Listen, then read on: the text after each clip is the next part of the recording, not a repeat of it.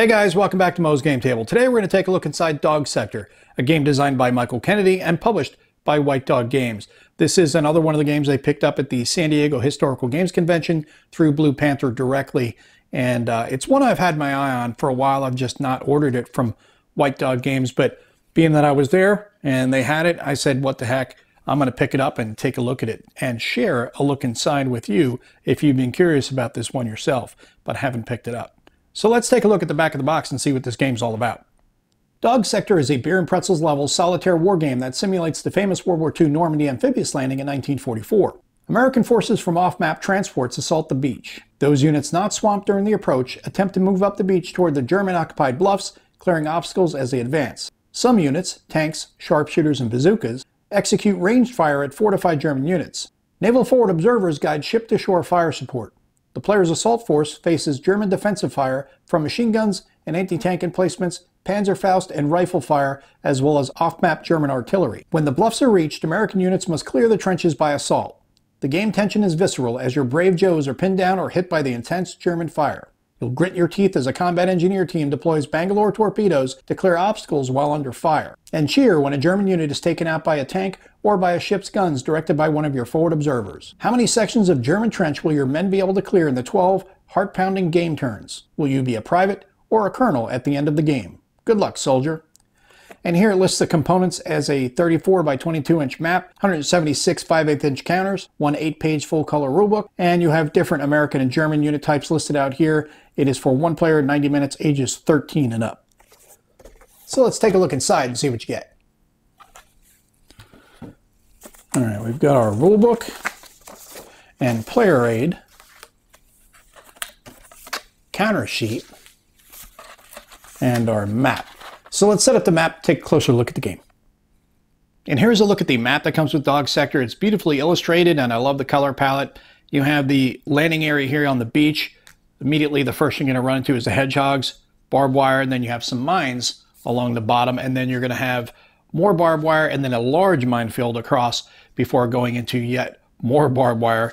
Then you get your to your bluffs, your draws, and then your trenches that you'll be assaulting where the German positions are. And you can see the German crosses here. And across from the German crosses are these blue stars where the sectors are broken down. You're going to have different sections, I should call them. Six, they're going to be six hexes wide. And this is how you're going to control the fire as far as who can shoot at who as you assault the trench line.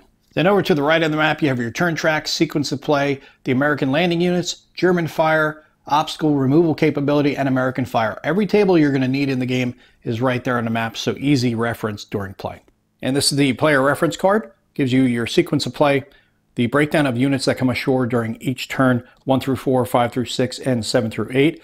German fire results table, the American fire results table.